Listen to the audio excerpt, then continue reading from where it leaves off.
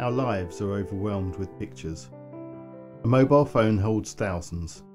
We take them haphazardly in passing. Thousands and thousands of pictures. Our food, our drink, a blurry selfie. We take them not because they are important. We take them because we can. And when our phones are full, we delete the food, the drink, and the blurry selfies. We might even wonder as we look back why on earth we took the image to begin with. Once deleted, we'll never miss it, because it didn't really matter.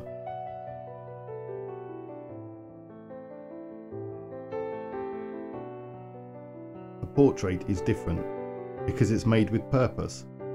It's made to mark a time in history, a moment in our life. There's nothing haphazard about it. It is special because of the people in it. It's made with care. It's made to be remembered and it's made to last. Not every occasion in life will require a professional photographer. Only those times that really matter to you.